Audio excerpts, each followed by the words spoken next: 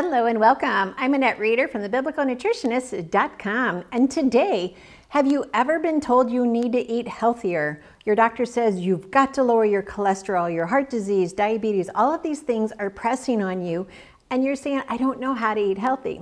Well, today I'm going to share with you what you need to have on hand to start baking healthy, to start baking healthy foods.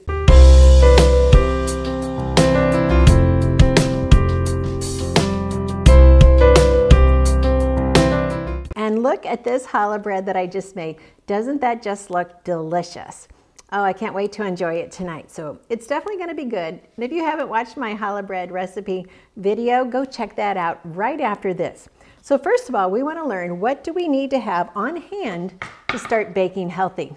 In my cookbooks, the Healthy Treasures Cookbook and the Satisfied Baking with Whole Grain Goodness, I share with you all of the nutritional benefits by making your own baked goods.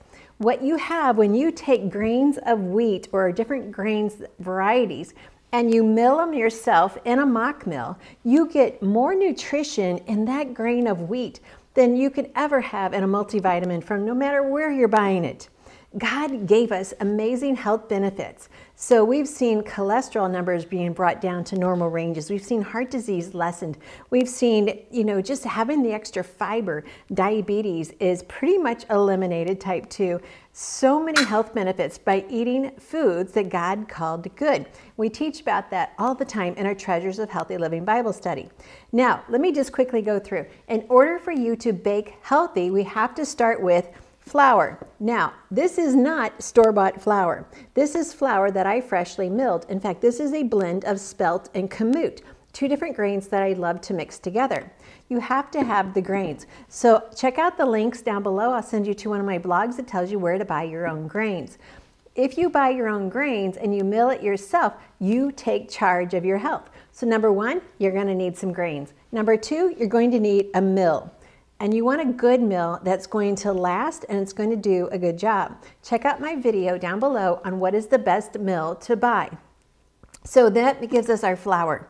Flour is not bad, but there's many scriptures that talk about Jesus is the bread of life. In Isaiah it says, why do you spend your money on what is not bread? Well, the bread in the grocery store, the bread in the restaurants, that's not real bread because it's filled with lots of fillers and preservatives and most of the grain, the nutrition has been stripped away it's just a flavor enhancer is all it is. So when you start eating real bread, just as Jesus is the real, our real savior, you're going to notice a difference in your health right away. One of my friends says, wow, I went back to making bread and I lost 20 pounds over four months. Yeah, it's very possible because it's a real food. So we've got the grains, we've got the mill, we need to be able to mill it ourselves. We then, if we're gonna make baked goods, we're gonna probably be making some yeast products that's going to rise. So you need to buy some yeast, typically in the one pound vacuum sealed package, like Sam's and Costco will carry that. Amazon will carry it online, and then I seal it in a mason jar and keep it in the refrigerator. You're going to need a set of dry measuring cups. If you're not used to cooking, dry means they have a flat top. If they're liquid, they have a pouring spout. So you're gonna need a set of dry measuring cups. Along with this, you're gonna need a set of measuring spoons. So a nice, easy one that you like handling. You're going to need a good knife to cut your breads. You're going to need good ingredients, such as a good olive oil, and two other ingredients is going to be a really good salt. I always recommend the Real Salt brand. And then if you're doing different baked goods, you might need baking powder. Make sure it's a non-GMO baking powder with no aluminum. So these are just key things to always have on hand.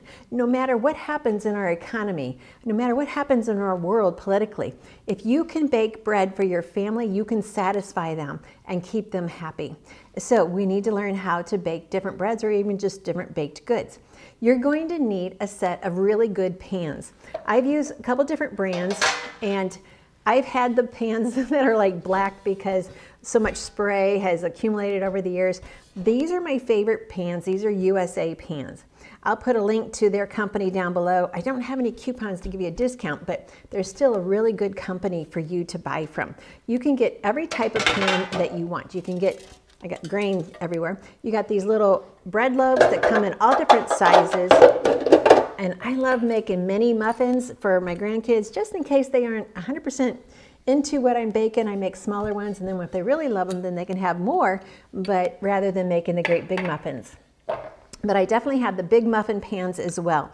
So you're going to need a flat pan. You're going to need muffin um, bread pans, and you might even want to get some muffin pans. So if you have these tools, you're always going to be able to bake. My favorite tools also to have on hand, this is my rolling pin. It's a double, double rolling pin. The small one is really good for going up inside things. The big one is for my big rolling out. And then this is a dough scraper. I use this all the time. When I first bought this back in 2003, I used this all the time. So it's a very low investment, but it's so easy to use. You can use it for so many different things. You're just gonna always be grabbing it, chopping things, scraping things, lifting things, the go-to for this. Now, you might even want to have a drying rack. If you're doing like cookies, even your bread should be put on a drying rack so that you have even, you have it drying evenly underneath so you don't get a soggy bottom. Very important. Now, if you don't have the money to buy everything, you do need grain and you do need a mill. Everything else you can just make do with what you already have on hand. Not only should we be very smart about our health, but we also have to be smart about our, our economy, about our finances. Now, remember, this bread doesn't just make itself. You get to make it and you get to enjoy it. Beyond what I've already shared with you, the other thing you need is good recipes. And I just got done making this challah bread out of this collection. This is a free collection of recipes I have for you. It's out of our Celebrate Jesus course and it's totally free. I'll put a link to that down below as well. So if you're ready to bake, if you're ready to change the health of your family, my family, my husband and I, when I started doing this in our first month, we did the Daniel fast and I started baking bread. And I've shared this before, but maybe you haven't heard it his cholesterol went from 300 down to 140 and his triglycerides went from 900 to 160. Yeah, happy day, not to mention the weight loss. It was incredible. And people will tell you, oh, you shouldn't eat this stuff, it'll kill you. No, that's not true. Because what God designed is always going to bring healing to our body because He promises us in His Word. It's only when man gets in and starts to alter what God created that we lose. And especially if they start trying to change what Scripture says, then we really lose. But we always have the Word for ourselves and we treasure it in our heart so we will always know what God wants us to do because He can speak to us through His Word. Well, I hope this helps you get started. Oh, I forgot to mention bags.